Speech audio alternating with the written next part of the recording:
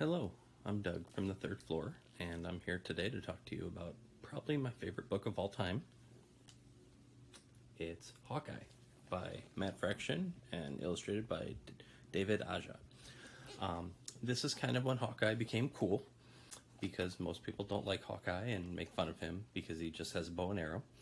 But this is an amazing series that has been collected in one big, nice and thick um, omnibus that collects the entire series of 22 issues. Um, it has amazing art, which, random page, is very fun, and the art style even changes over the course of the book.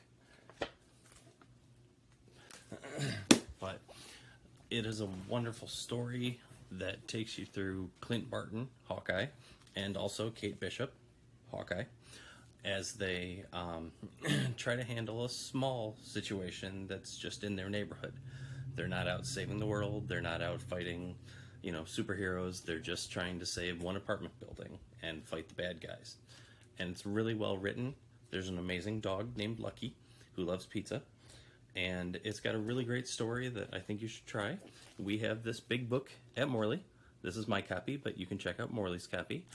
Or the entire series has also been collected in smaller paperbacks, which are available at a number of area libraries. But I hope you check out the Morley collection. So I hope you give it a chance and let us know what you think. Thank you very much.